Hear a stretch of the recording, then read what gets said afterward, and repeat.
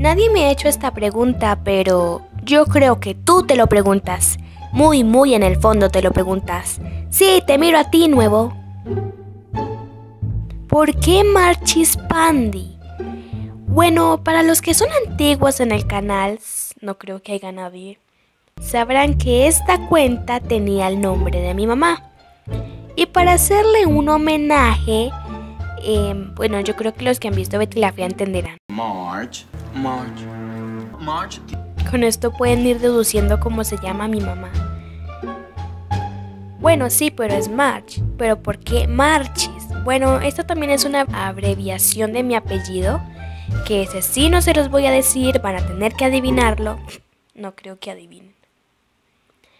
Y bueno, luego está Pandy, que este representa a mi personaje favorito en Piggy. Bueno, y entonces si Marchis no es tu nombre real, ¿te puedo llamar así o no? Pues si quieres sí, llámame así o llámame como el nombre de mi primera cuenta, de mi segunda cuenta, de mi tercer cuenta. O si quieres llámame la panda que tiene como 20 nombres. pues sí, ya. Y para los que se pregunten, oh, entonces eres un panda. Sí, soy, uno, soy un panda. Aunque soy un pandita muy raro porque a este panda le gustan los aguacates. Sí, ustedes son como mis aguacates. No, no es que me los vaya a comer, tranquilo, tranquilo, no te voy a comer, ¿ok? Solo que es como, no sé, un apodo que les tengo. Aguacates, mis paltas, mis paltas de aguacates. Y eso creo que es todo. Bueno, y esta fue mi pequeña reseña de por qué me llamo así.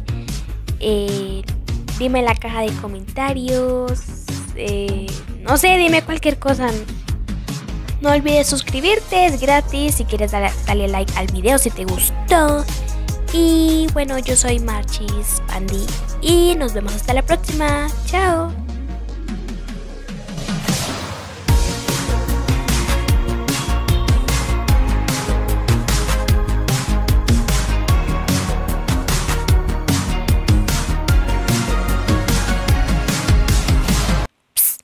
Sigues aquí al final del video, te quiero decirte que me puedes llamar Lucía o me puedes llamar Erika, no sé, como quieras.